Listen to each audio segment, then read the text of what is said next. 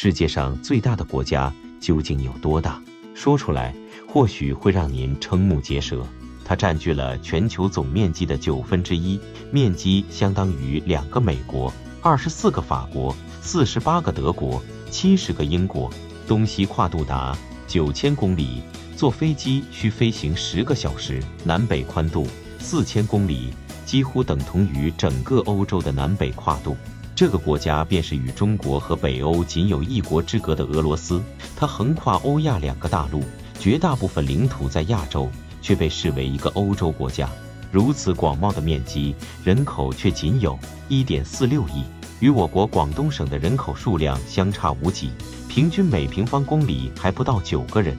您或许以为俄罗斯地广人稀，没什么可看的，然而真实的俄罗斯，其美景足以与瑞士相媲美，极光不逊于芬兰，教堂不输给意大利，宫殿不弱于法国。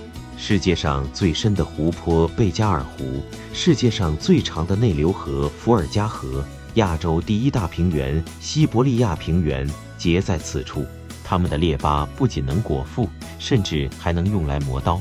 俄罗斯被称作战斗民族，雄健的熊见了它们都要逃窜，常常因其过于剽悍的作风而霸屏热搜。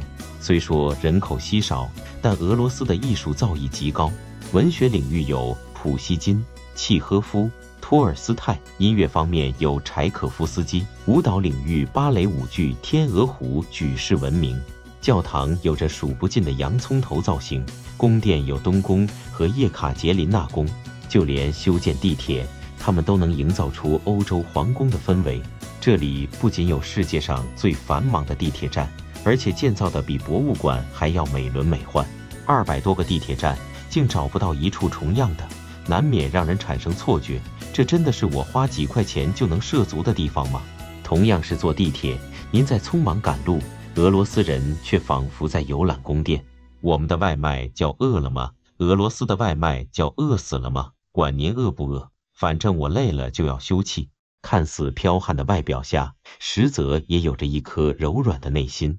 不知您最想和谁一同踏上这片神奇的土地去旅游呢？